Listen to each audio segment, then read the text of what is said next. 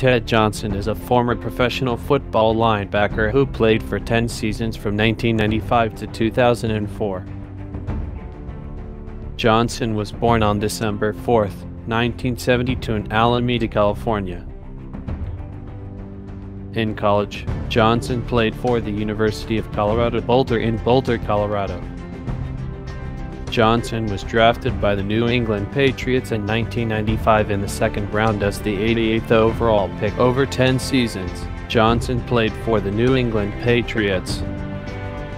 His first and only team was the New England Patriots from 1995 to 2004. Here are some highlights from his 10 years with the New England Patriots. In 2002, he won the Super Bowl championship. In 2004, he won the Super Bowl championship. He was named New England Patriots 1990s team.